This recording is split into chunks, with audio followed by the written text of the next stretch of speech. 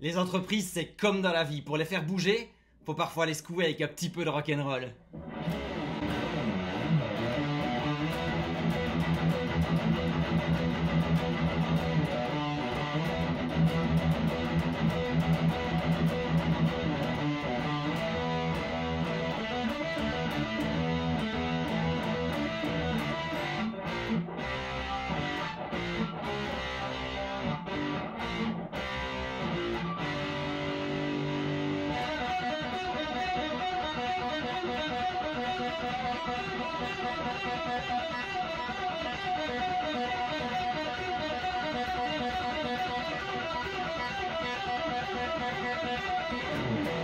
Les entreprises ont toujours besoin de trois aspects pour réussir.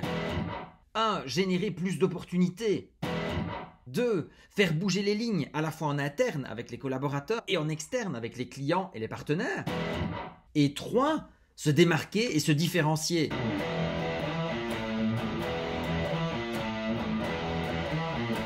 J'interviens essentiellement en prestation d'accompagnement et en conférence. J'ai écrit des livres aussi. Je m'appelle Fred Colantonio. Col comme la chemise et Antonio comme le prénom.